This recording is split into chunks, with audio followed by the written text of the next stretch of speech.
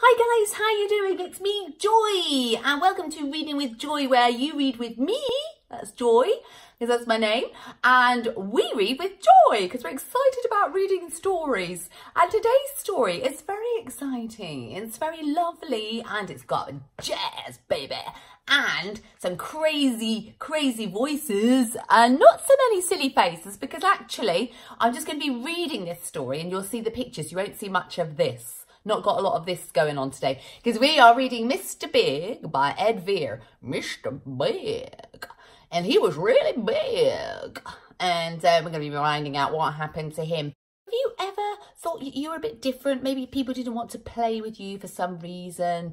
Um, usually they're very silly reasons why people don't want to be friends with us. But this book is all about overcoming those things, those challenges and those obstacles that stop us from being friends with other people and stop them from being friends with us. And it's all about embracing the arts as well. Do you like the piano? I play a little bit of piano. I quite enjoy it, but I'm not as good as Mr. Big. Should we just find out how good he is? Come on then, let's start the story. Let me tell you a story about a friend of mine. He go by the name of Big. Mr. Big. Now, Mr. Big had a small problem. Compared to everyone else, he was extremely big. He was so big that anywhere he went, all everyone saw was someone big and scary. No one stuck around to find out who he really was. So, inside, Mr. Big felt very, very small.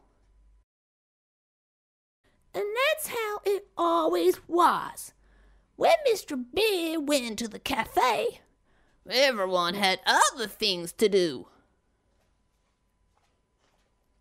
When Mr. Big got on the bus, everybody else got off.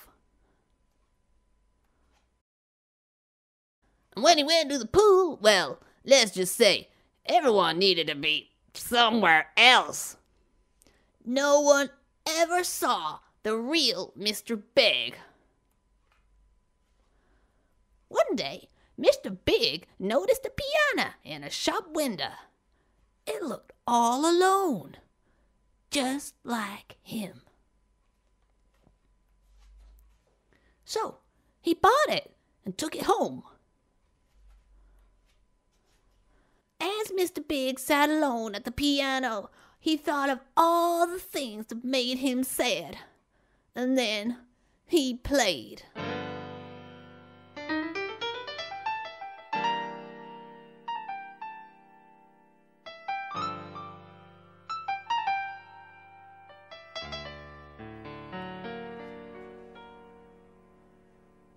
His music drifted out through the open window and into the evening sky.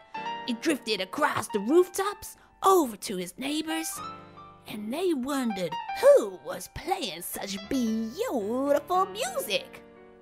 Hey man, that cat can play.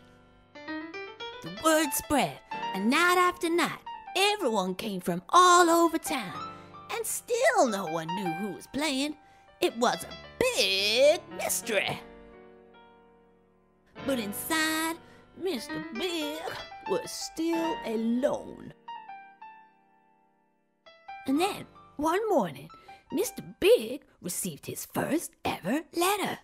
It was an invitation, and it said, Dear Mystery Pianist, thank you for your beautiful music. Everyone's been listening to you for weeks, and we're all wondering one thing. Who are you? We'd love to meet you. Me and a couple of the guys are playing tonight at the Blue Note. Please come and join our band. See you later, a friend. That night, Mr. Big joined the band.